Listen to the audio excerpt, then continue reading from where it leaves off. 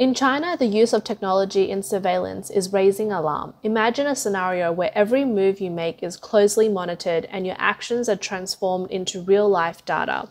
This isn't a depiction of a prison, but rather a glimpse into a classroom in a Chinese school. This footage has gone viral on Chinese social media platforms.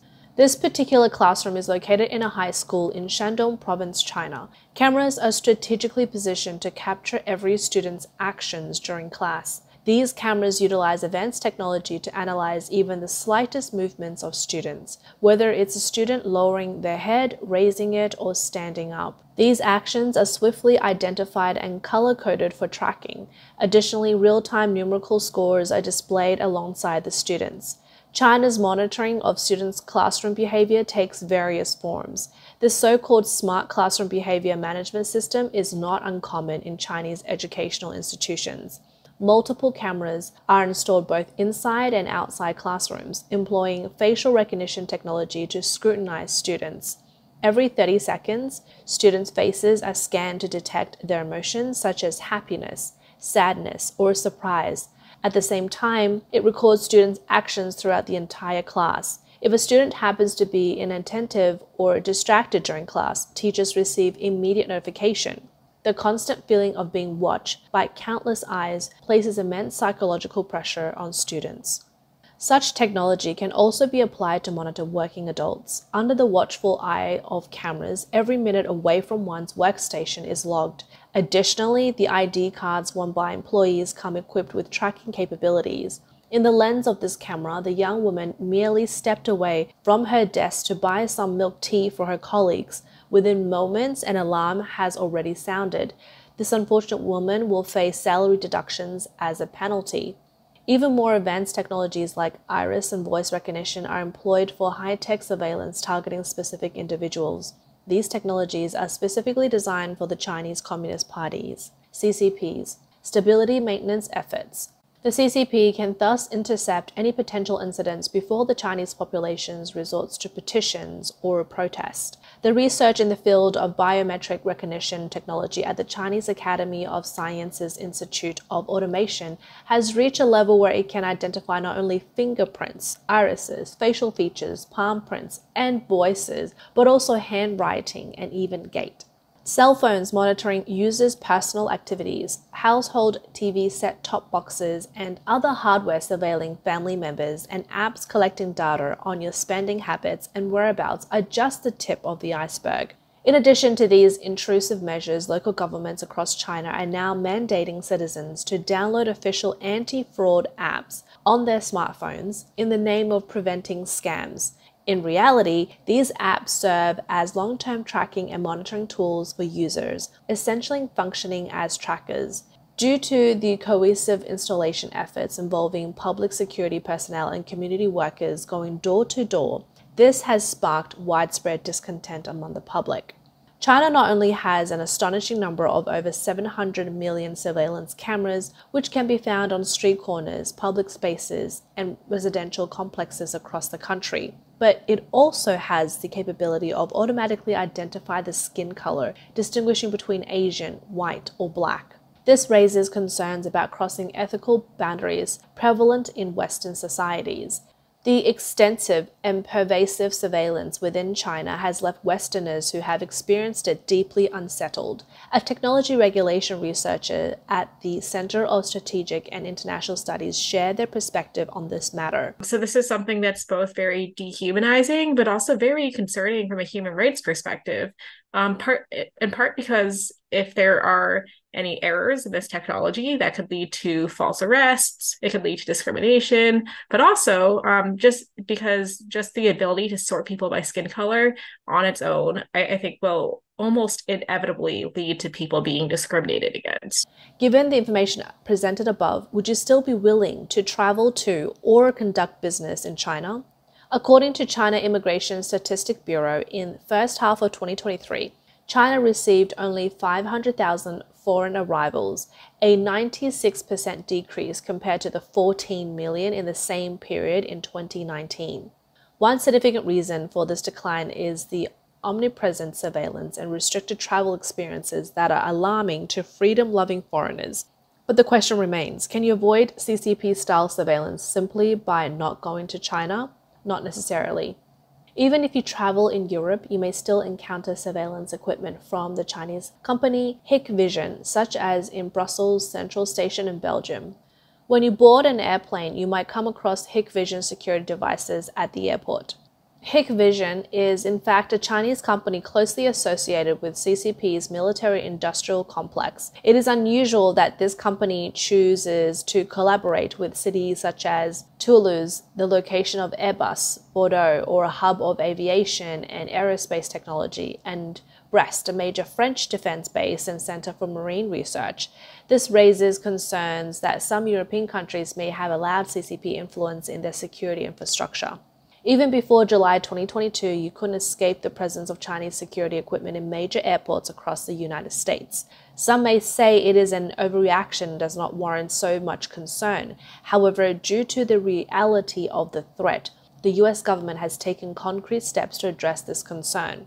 In 2022, the Biden administration allocated nearly $1 billion to refurbish and expand 85 airports throughout the US by 2027. This initiative aims to completely replace made in China security equipment such as X ray scanners with American made products to ensure national security. Is it really necessary to be so cautious? Industry experts argue that the situation with Hikvision is not dissimilar to the concerns raised about Huawei. The issue of Huawei smartphones having backdoors for potential monitoring and surveillance has garnered widespread attention in the West. Entrusting a strategically vital sector to a company closely connected to the CCP government and military could have unpredictable consequences for the West. Hikvision has made significant inroads in Europe in recent years, with products being used in 26 out of the 27 European Union members, Many Western cybersecurity experts and officials are concerned that as Hikvision continues to expand its global market share, Beijing authorities may use a national intelligence law to compel Hikvision to hand over sensitive data collected through its devices. This could potentially allow the CCP government to gain insight into cross border trade activities in European countries and interfere with critical transportation systems when necessary. As highlighted by US Senator Marco Rubio in 2019, there are two significant reasons why Chinese companies must be viewed with caution. They operate with the backing of the CCP, supported by the national system. First, they must respond to the interests of the CCP. Secondly, within these companies, there is internal oversight by CCP members. Furthermore, Chinese law mandates that if required, companies must engage in espionage activities to collect intelligence. These factors underscore the close relationship between Chinese companies and the state's interest, raising concerns about potential security risks. In the midst of brutal oppression by the CCP, re education camps in Xinjiang, Huawei, as a giant in the Chinese telecommunications equipment industry, played a complicit role by using its surveillance technology. This allowed the CCP to gain more support and export the surveillance technology and equipment to other countries. Apart from Huawei, companies like Hikvision, Dahua, and Meiya Pico, which have close ties to the CCP, are also being systematically supported by the CCP to promote and market the surveillance model on the international stage. The Belt and Road Initiative has enabled the export of China's security industry information technology, allowing these companies to expand their database through overseas development, thereby enhancing their systems.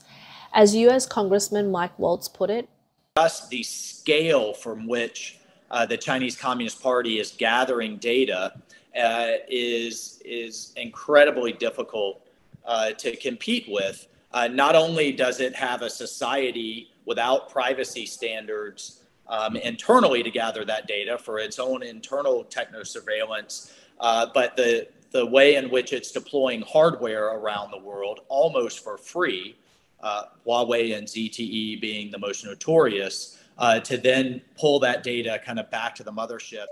In 2021, Lithuania, a member of NATO, cited national security concerns when it declared a ban on the use of surveillance equipment produced by China's Hikvision at its airports. The Estonian government, in its 2021 National Security Report, strongly warned about China's influence operations in the West, aiming to divide and weaken the US and Europe, with the ultimate goal of creating a world under Beijing's control. Another European country, Belgium, also uses similar security screening equipment and closely observed Lithuania's decision. According to Alain De Neve, an analyst at the Royal Military Academy in Belgium, there are security concerns because there may be spyware within these machines that people are not aware of. Human rights and individual freedoms have consistently been disregarded by the CCP. The CCP's mentality has often been that problems may go unsolved, but those who raise the problems must be dealt with. Thus, technology has been harnessed to serve this authoritarian governing ideology. For instance, every detail of individuals' data is meticulously recorded, their movements are easily tracked, and their consumption behavior and financial flows are closely monitored. The CCP's surveillance knows no bounds and employs extreme measures, but this is just the tip of the iceberg. The CCP's surveillance tactics within China are diverse, but does it stop within its borders? Domestically, the CCP has constructed an Orwellian surveillance state along with a sophisticated internet content censorship system. The goal is to monitor and suppress all public dissenting options, driven by its fear that political freedom could threaten its regime. As criticism and opposition voices grow globally, the CCP's nefarious surveillance and censorship practices inevitably spill over. Furthermore, if the world becomes more sympathetic to CCP ideologies, it could benefit the CCP in maintaining its grip on power. Indeed, many authoritarian countries around the world, such as Zimbabwe, Venezuela, and Ecuador, are taking cues from the CCP and adopting similar tactics in digital surveillance and control. They are emulating the CCP's playbook in this regard, making it a mandatory lesson for them. These regimes are rapidly expanding the mass scale technological surveillance of their citizens, implementing internet censorship, and using computers and big data to control individual expressions. Under the influence of the CCP, they are following similar games rules to exert digital social control. The technology for information control has become a powerful tool for authoritarian states, enabling them to strengthen their grip on power. What is even more concerning is that as the CCP's extensive surveillance expands globally, its monitoring systems are gradually entering democratic countries, in recent years, surveillance cameras and videos analysis system produced in China have been exported to numerous countries worldwide. In addition to government procurement projects in other countries, Chinese surveillance equipment has also made its way into the homes of ordinary people through e commerce platforms like Amazon and eBay at affordable prices. On the Amazon bestseller list of home security and surveillance cameras in the United States, Several Chinese companies, including Shenzhen Smart Eye Digital Electronics and Yi Technologies, have ranked prominently. Consumers of these products have raised concerns in product reviews. They have noted that in order to use the products, you need to download an app on your smartphone. This app can access your browsing histories, call records, contacts, the apps you're using, and more. Moreover, the downloaded app can alter your phone's system settings and upload download data without your permission. Even ordinary users in foreign households may unwittingly fall under the surveillance and control of the CCP, posing a significant security threat. Why China's surveillance system is so much more advanced and comprehensive than, than other uh, countries is not only because they have several of these programs, but also because they're increasingly using something called uh, data fusion. So that's taking different data sources and, and merging them together to create these very comprehensive portraits on individuals and track them across all facets of their lives. And so um, that is not a perfect process by any means, but China has had the ambition and is putting in the resources for the last several decades to, to make this a reality. And it is increasingly powered by AI. Dr. Valentin Weber, a senior research fellow at the German Council on Foreign Relations, published a research report titled The World Wide Web of Chinese and Russian Information Controls. He argues that China and Russia are currently selling sophisticated surveillance equipment worldwide without any regulations or oversight mechanism in place. Even in democratic countries, there are no comprehensive rules governing surveillance. As the internet becomes increasingly integral to all aspects of life, this kind of surveillance and censorship can lead to instability and harm to populations. Authoritarian regimes led by the likes of the CCP attempt to control what their citizens can access and share on the internet through monitoring. Their goal is to maintain control over the populace, suppress political opposition, and prevent uprising against their authoritarian governments. Understanding their fundamental objectives reveals that surveillance is fundamentally about maintaining stability. In the current economic challenges faced by China, nothing is more critical to the CCP than the security of its regime. No other government invests as extensively and ruthlessly in the development of surveillance technology as the CCP does.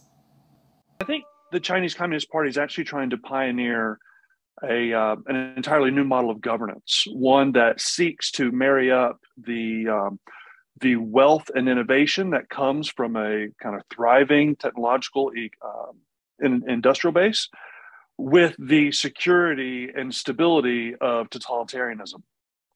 And uh, they understand that technologies like artificial intelligence offer the most likely opportunity to, to blend those two aims uh, in one place.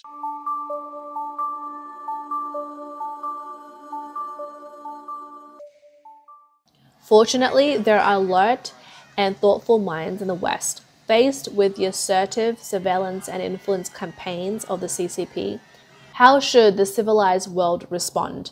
Human rights experts argue that even if the CCP's Orwellian policies within China fail to raise alarms within the international community, its export of surveillance technology should serve as a wake up call.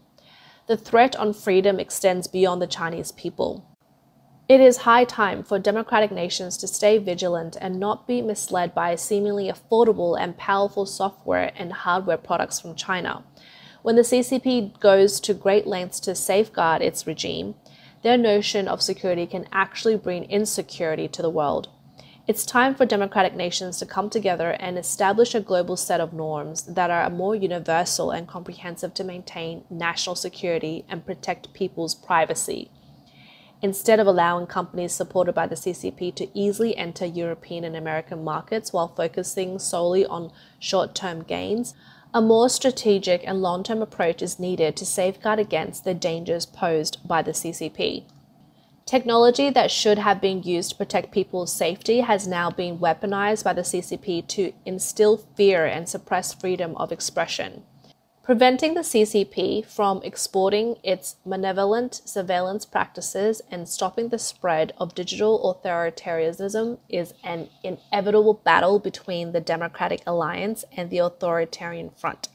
Stein Ringen, a sociologist from Norway, warns the world in his book Perfect Dictatorship that the CCP is developing a form of authoritarianism that achieves the strong control effects while employing softer means of enforcement using information and communication technology to control society. George Orwell's famous novel 1984 depicted a terrifying world where people were constantly watched by Big Brother.